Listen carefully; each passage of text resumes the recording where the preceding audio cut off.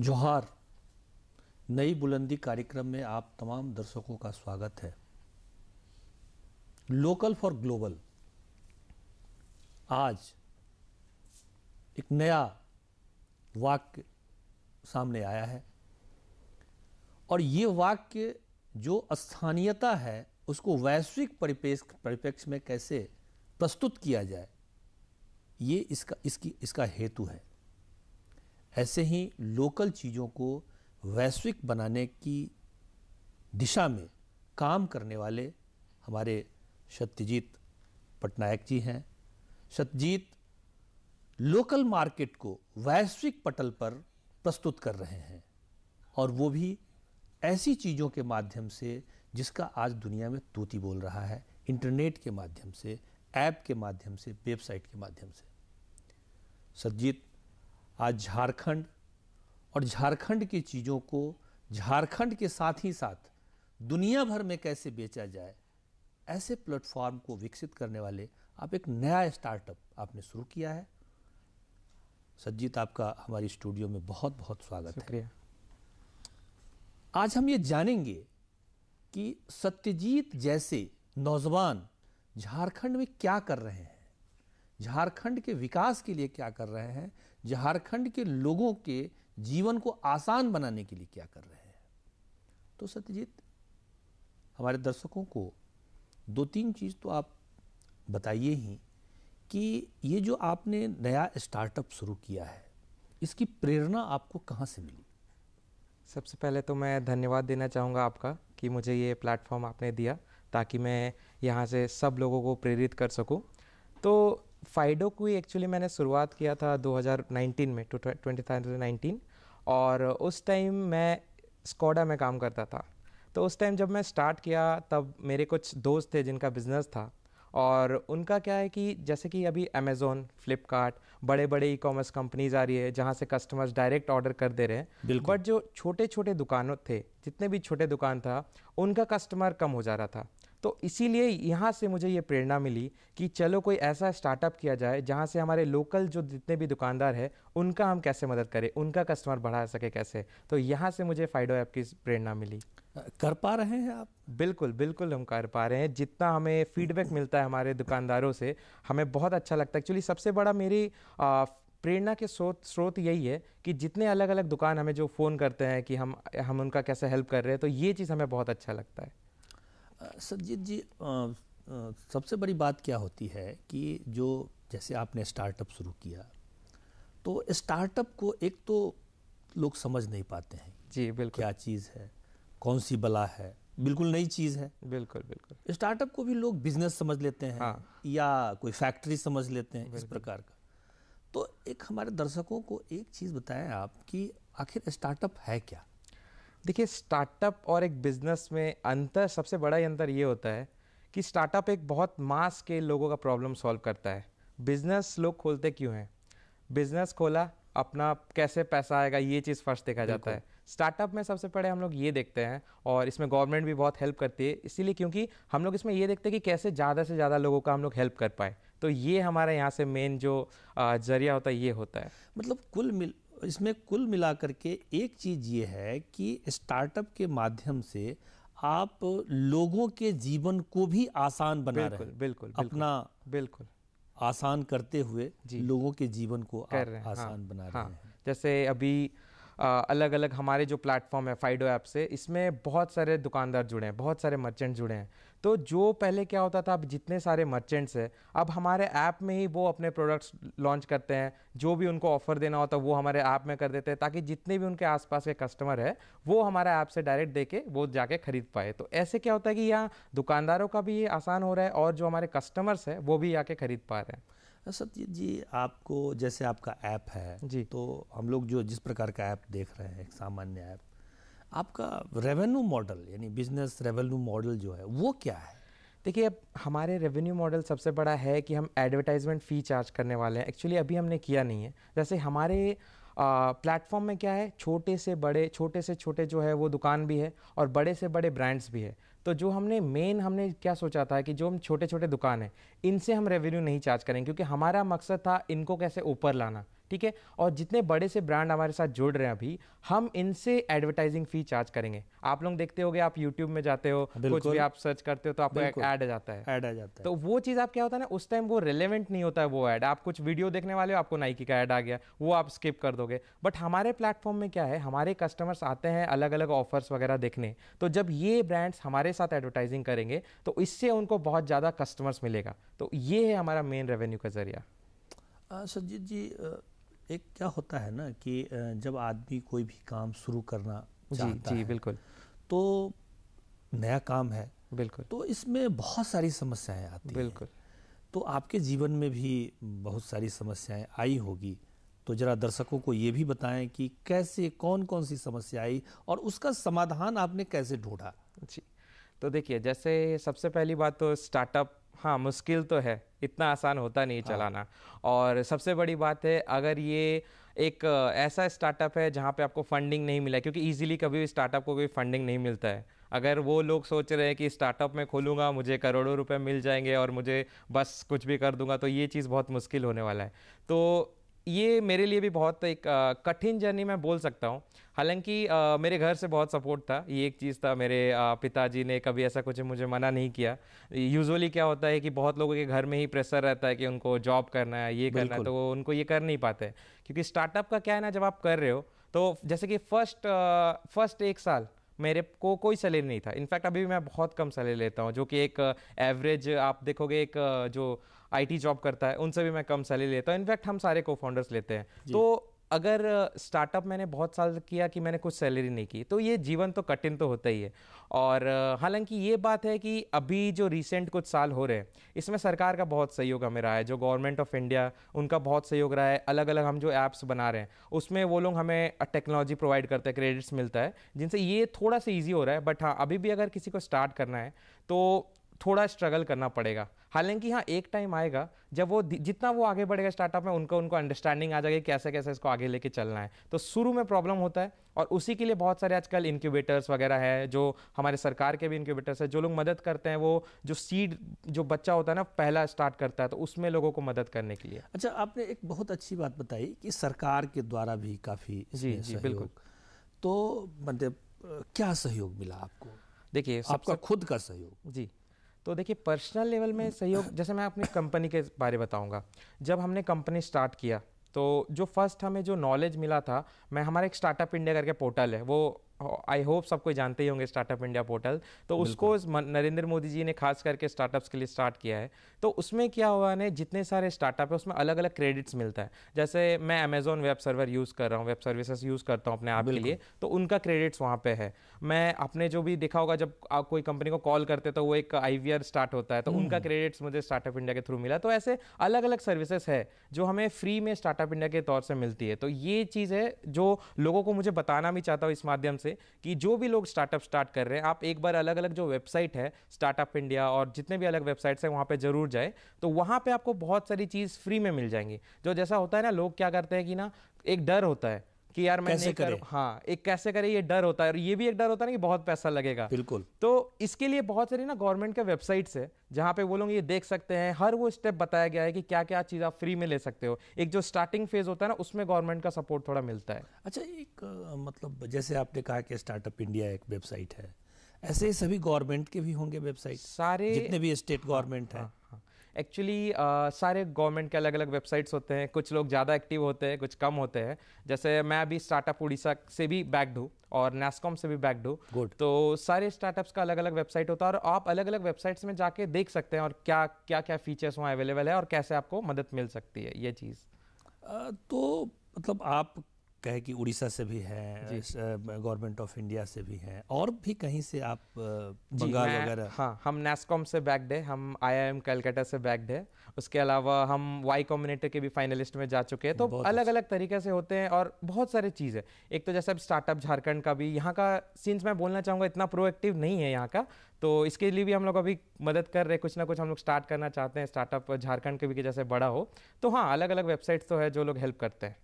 तो अपना जैसे हमारे यहाँ के जो लोकल। बंदे हैं हाँ। लोकल स्टार्टअप हैं जो न्यू आने बिल्कुल। तो हमारे झारखंड की वेबसाइट पर जाते हैं तो उनको जी कुछ आ, लाभ मिलता तो देखिए मैं भी ये बताना चाहूँगा कि स्टार्टअप झारखंड के वेबसाइट में तो मैं भी गया था लेकिन इतना यहाँ पे यहाँ पे सरकार ना थोड़ा सा स्टार्टअप को ध्यान देने की ज़्यादा ज़रूरत है एक्चुअली जैसे दूसरे स्टेट्स के वेबसाइट है आप उड़ीसा में चले जाओगे उनका वेबसाइट बहुत अच्छा है आपको तुरंत हेल्प मिल जाएगा। आप स्टार्टअप झारखंड के वेबसाइट में जाओगे यहाँ पे कॉल करोगे तो वो चीज़ अवेलेबल नहीं है। तो थोड़ा सा और सरकार फीचर फीचर और फीचर्स और चाहिए। और अच्छे होने हाँ, चाहिए। एक प्रोएक्टिव स्टेप लेना चाहिए हमारे झारखंड गवर्नमेंट को भी जैसे यहाँ यहाँ पे प्रतिभा बहुत है। मैं अभी स्टार्टअप एक जड़ से जुड़ा हुआ हूँ हमारा व्हाट्सएप अलग अलग ग्रुप है अनऑफिशियल बहुत सारी चीज़ें हैं बट एक हमें चाहिए कि गवर्नमेंट की तरफ़ से भी सपोर्ट मिले खासकर हमारे जो झारखंड गवर्नमेंट की तरफ़ से। तो और यहाँ के जितने भी प्रतिभा है ना एक बहुत बड़ा एक प्लेटफॉर्म मिल जाएगा यहाँ पे ग्रोथ करने के लिए। और एक और बहुत बड़ी बात क्या होती है कि स्टार्टअप का मार्केट ढूंढना जी जी। एक बहुत कठिन काम होता हाँ, है। हाँ, जैसे काम तो कई लोग शुरू कर लेते हैं मैंने देखा कि भाई चलिए भाई साल दो साल पहले मैंने स्टार्टअप शुरू किया था। कुछ गवर्नमेंट से मिल गया कुछ हमने लगाया कुछ इन्वेस्टर भी आ गए बट हमको निराशा हो गई मार्केट नहीं मिला। हाँ। तो मार्केट एक बहुत महत्वपूर्ण चीज़ है। तो इसीलिए मार्केट के लिए आपका क्या स्ट्रेटजी क्या रहा बिल्कुल। तो सबसे पहले तो मैं दर्शकों को बताना चाहूँगा कि प्रोडक्ट मार्केट फिट एक बहुत इंपॉर्टेंट एस्पेक्ट होता है कोई भी स्टार्टअप का। प्रोडक्ट मार्केट फिट कि आप एक्चुअली हम हर कोई क्या होता है ना क्यूरियस होता है, कुछ ना कुछ दिमाग में चलते रहता है कि मैं ये बना दूँगा, बहुत अच्छा चलेगा, मैं ये एक सर्विस स्टार्ट कर दूँगा, बहुत अच्छा चलेगा। बट हमारी जो सोच होती है ना, वो मार्केट के सोच से अलग होती है। हम लोग क्या करते हैं कि खुद एक चीज़ सोच लिया, हम सोचते हैं कि ये मार्केट में चला जाएगा यार चल जाएगा। लेकिन ये प्रोडक्ट मार्केट फिट स्टैब्लिश करना बहुत ज़रूरी होता है। उसके लिए आप कुछ भी अगर स्टार्टअप कर रहे हो तो इनिशियली मैं ये बताना चाहूँगा कि आप उसको पहले मार्केट में लेके जाओ। आपने एक टूथपेस्ट बनाया, आप अपने आसपास के दस दुकानों को उसको बेचो आप देखो कि वो कैसा चल रहा है। लोग उसको ले रहे हैं कि नहीं? बिल्कुल। उसके बाद आप उसको एक्सपैंड करो आप मैन्युफैक्चरिंग करो। अगर आप पहले ही दस हज़ार टूथपेस्ट बना दोगे पता चला ये तो यार टेस्ट खराब है। तो इसीलिए प्रोडक्ट मार्केट फिट बहुत ज़रूरी तो होता है। सत्यजीत ने क्या किया? देखिए सबसे पहले हमने क्या किया? देखिए हम लोग का काम क्या था? हमारा काम था अलग अलग जितने भी छोटे से छोटे दुकान हैं उनका हम लोग कैसे मदद कर सकते हैं? उनका ऑफर्स अभी क्या आता है कि एक छोटा सा सैलून है मान लीजिए। हम्म। उसने एक नया सर्विस स्टार्ट किया है एक हेयर स्पा का। उसको वो 500 में बेचना चाहता है। अब बड़े बड़े जो ब्रांड्स होते हैं वो लोग तो एडवर्टाइज वगैरह कर देंगे टीवी में। बिल्कुल। छोटे छोटे जो सैलून्स होते हैं उनका तो इतना कुछ पैसा नहीं कि वो एडवर्टाइज हाँ, कर पाए न्यूज़पेपर में दे पाए। तो हम इन लोगों का मदद करते हैं उनको अपने प्लेटफॉर्म में लेके आते हैं जबकि हमारे जो कस्टमर बेस है जब वो सैलून या स्पा सर्च करेगा उनको वो आपका लोकल स्पा दिखाई देगा कि भाई यहाँ पे ये फीचर्स है ये सर्विसेज़ अवेलेबल है इतने रेट पे। तो हम लोगों का क्या था ना कि एक चीज़ था कि दुकानदार को हमारा प्रोडक्ट हमारा जो सर्विसेज़ है, वो बहुत बहुत पसंद आया, क्योंकि हम उसको कुछ बेच नहीं रहे हम उनका मदद कर रहे हैं इनफैक्ट कि उनका कस्टमर कैसे बढ़े। इसलिए हमारा, जब हमने डाउनलोड अपना स्टार्ट किया स्टार्टिंग में आज तक इनफैक्ट अभी तक, हमारा अभी तो हो गया बट कुछ टाइम हो गया अभी तक मुझे मार्केटिंग करने की ज़रूरत नहीं थी। मैं, हमारे जो सेल्स टीम थे, वो लोगों को जाते थे, बताते थे, वो समझाते थे और वो सारा डाउनलोड कर लेते थे। तो ये एक चीज़ बहुत अच्छा हुआ। यूजुअली क्या होता है ना, लोग बहुत मार्केटिंग में खर्चा करते हैं। बड़े बड़े ब्रांड्स अभी भी आप देखिएगा बड़े बड़े स्टार्टअप्स है, वो पैसा ज़्यादा खर्चा कर रहे हैं प्रॉफिट कम हो रहा है। हमारे क्या था कि हम लोगों ने, हमारी जब सेल्स टीम जाती है तो 99 परसेंट ऑफ़ द टाइम वो शॉपकीपर एक्सेप्ट कर लेता है, अरे हाँ यार, ये तो बहुत अच्छा आइडिया हमें भी चाहिए। तो इसीलिए मेरा प्रोडक्ट मार्केट फिट करना थोड़ा सा कंपेरेटिवली आसान था। अच्छा आपने कई स्टेप आगे बढ़े कई स्टेप आप और आगे बढ़ने हैं आप जी। मतलब इस लोकल चीज़ को बिल्कुल ग्लोबल बनाना बिल्कुल। है। आपके दिमाग में ये सब बिल्कुल, चल रहा बिल्कुल। होगा। आपका कुल जो जितने भी आपके स्टाफ स्टाफ स्टाफ हैं अभी हम्म, हम्म। उसमें से कितने आपके अपने हैं? और कितने मतलब ऐसा कुछ देखिए स्टाफ तो मैं सबको अपना ही मानता हूँ। अच्छा, अच्छा। ये तो बहुत क्योंकि देखिए हर एक कंपनी का ना टीम बहुत इंपॉर्टेंट होता है। हम्म। ठीक है तो मैंने उसमें उसमें एक होता है ना कि बिल्कुल हमने बीस को बिल्कुल प्रत्यक्ष रोज़गार दिया और चालीस को मैंने परोक्ष रोज़गार हम्म, दिया। हम्म। तो ऐसा कितने तो को आपने देखिए अभी हमारे में अराउंड पंद्रह से बीस लोग हैं कुल कुल ठीक है? उसमें से हमारे कुछ सेल्स के बंदे कुछ टेक्निकल स्टाफ्स है कुछ एग्जीक्यूटिव लेवल के स्टाफ्स है तो रोज़गार के मामले में क्या है ना, अभी भी हम लोग का ओपन है। मतलब अभी भी हम रोज़गार, अभी हमारा, मैंने वैकेंसी ओपन है। हर दिन अलग अलग स्टाफ्स को हम हायर कर रहे हैं, जो हमारा सेल्स टीम है। तो जो अगर पैसे के मामले में देखा जाए तो मेरे स्टाफ को जो टेम्प्रेरी स्टाफ है मैं ईच डे में 1500 से 2000 कोई कोई कमा लेते हैं। तो इतना पर डे का मैं उनको देता हूँ सैलरी अराउंड अराउंड आप forty forty five thousand sixty thousand per month वो ले लेते हैं। ये मार्केट वाले ये मार्केट वाले लोग। तो अच्छा। क्योंकि होता क्या है कि हम पर शॉप पर शॉप एक्वायर करने के लिए कुछ उनको पैसे देते हैं। तो यहाँ पे क्या है कि शॉप सब रेडी रहते हैं एक्वायर होने के लिए। भाई शॉप को क्या है कि जेनविन हम्म, प्रॉब्लम है। तो मैं भी जुड़ना चाहता हूँ मैं भी जुड़ना चाहता हूँ तो ये होता है। तो हम जो हमारा टेम्प्रेरी स्टाफ हमने हायर किया है उनका सैलरी हमसे ज़्यादा हो जाता है। तो ये चीज़ है। तो इससे मुझे भी बहुत खुशी लगता है कि भाई हमने उसको रोज़गार दे रहे हैं वो कभी भी हमसे छोड़ के नहीं जाएगा हमें। तो ये चीज़ है। तो अभी अ, मतलब केवल झारखंड वेस्ट है कि नहीं अभी हम एक्चुअली तीन स्टेट में हैं। एक हमने अभी अपना हमारा एक्चुअली पुराना नाम था एल्फिड ठीक है? अच्छा। तो हम हमने जो मैंने बताया आपको पिछले साल मैंने शुरू किया था। उसके बाद अभी हमने कुछ दिन कुछ कारणों से अपना ऐप का नाम फाइडो किया है। तो अभी हमने दिसंबर में ही लास्ट ईयर लॉन्च किया है और अभी हम लोग उड़ीसा झारखंड एंड वेस्ट बंगाल में हैं और अभी तो हमें फाइव स्टेट्स और लॉन्च करना है। तो अब धीरे धीरे हम कैसे अलग अलग स्टेट को बढ़ रहे हैं। तीन तक गए हैं तक और पाँच इस साल या अगले साल आप अगले- 2022 तक हमें फाइव स्टेट्स में रहना है तो ये हमारा टारगेट है। अ, आपके यहाँ कितने मतलब दुकानदार या बिजनेसमैन अभी तक अराउंड जो हमने अभी नया स्टार्ट किया फाइडो में अभी तो 20 डेज़ हुआ है और 1500 से ज़्यादा दुकान अब तक जुड़ चुका है। वाह बहुत। अच्छा।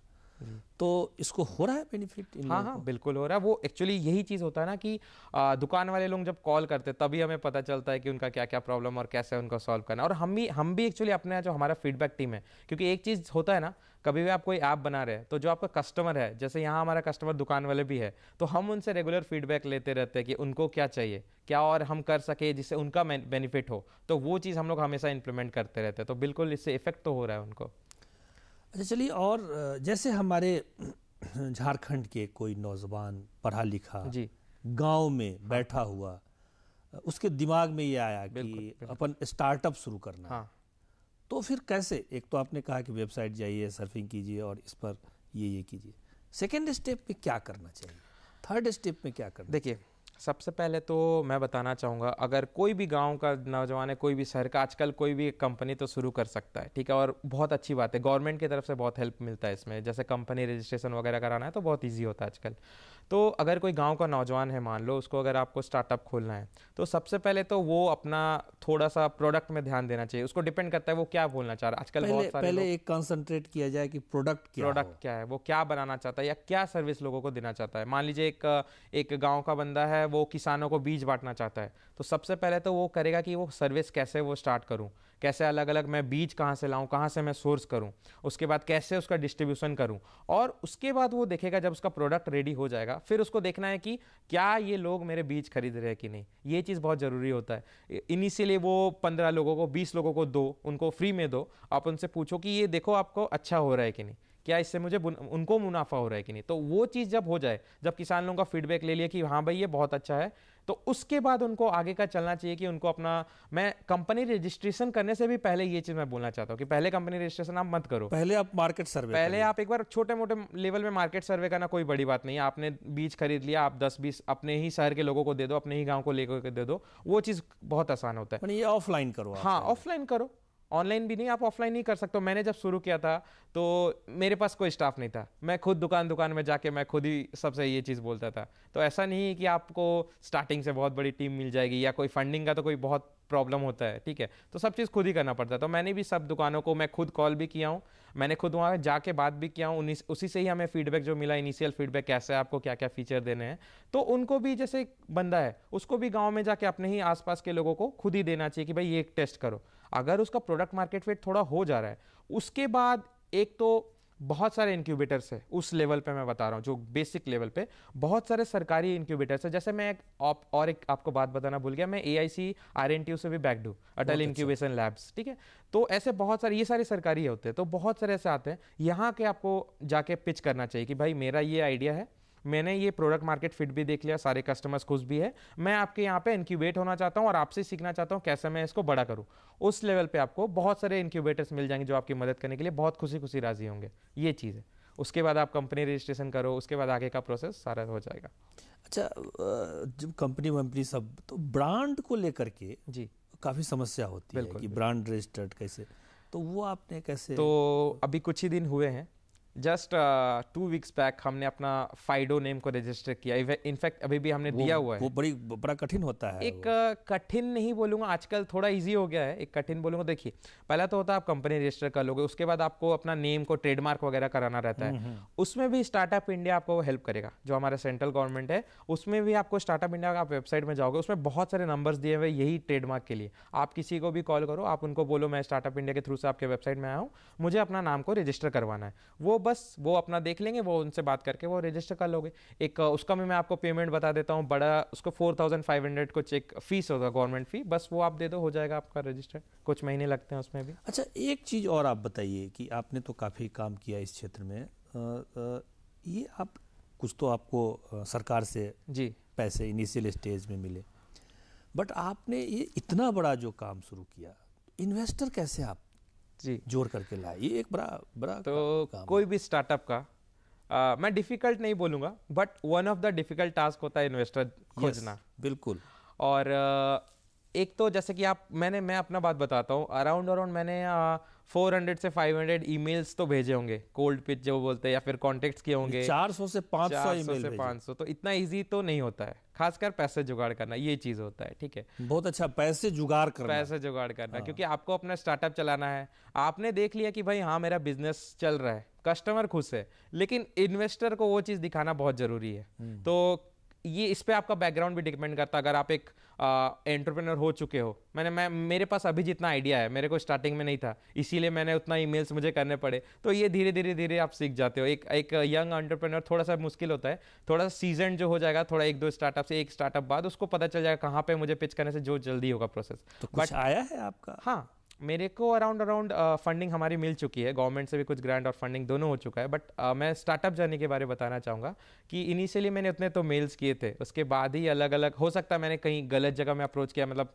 जो बड़े बड़े इन्वेस्टर्स होते हैं। एक होते हैं ना हर लेवल का अलग अलग इन्वेस्टर होता है। आपको जैसा सीड राउंड रेस करना है तो आप डायरेक्ट बड़े बड़े वीसी के पास नहीं जाओगे। आप छोटे जगह में छोटे एंजल्स को पिच करेंगे।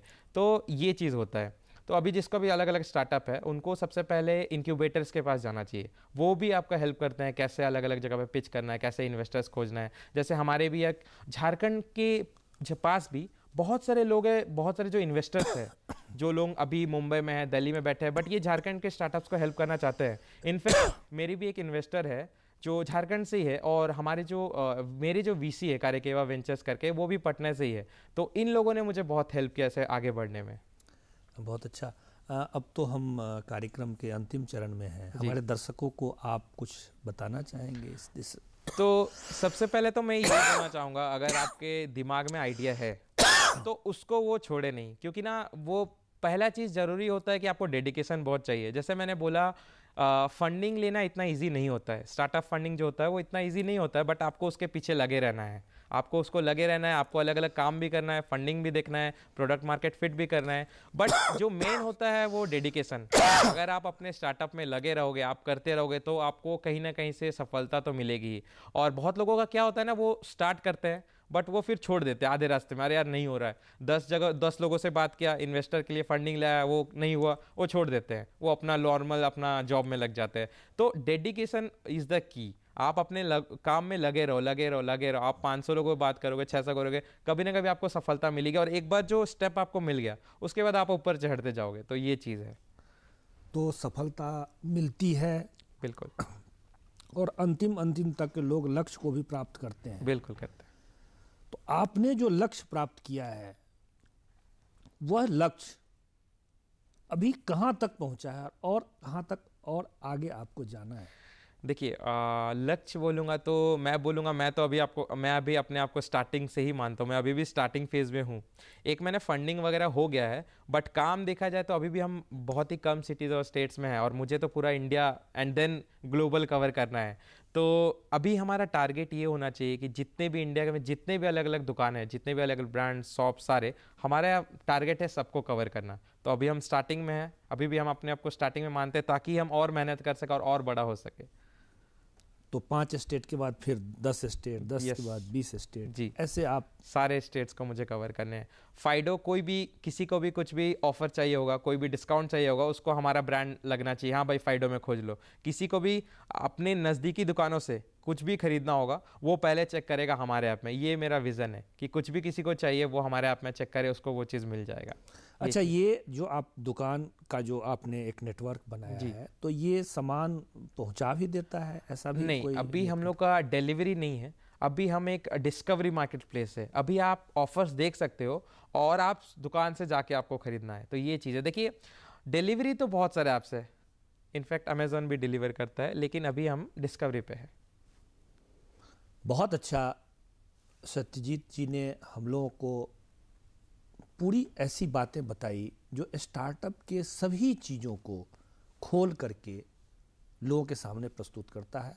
और मुझे लगता है कि आने वाले समय में अगर कोई युवा इस क्षेत्र में आगे बढ़ते हैं तो इस सारी चीज़ों को आत्मसात करके वो आगे बढ़ सकते हैं। और चीज़ों को कैसे आसान बना सकते हैं, गाँव की चीज़ों को, शहर की चीज़ों को। इन तमाम चीज़ों पर हम लोगों ने चर्चा किया। इन्हीं शब्दों के साथ इन्हीं चीज़ों के साथ इन्हीं बातों के साथ हम अपनी टीम के साथ विदा लेते हैं। आपका बहुत बहुत धन्यवाद शुक्रिया शुक्रिया। Thank you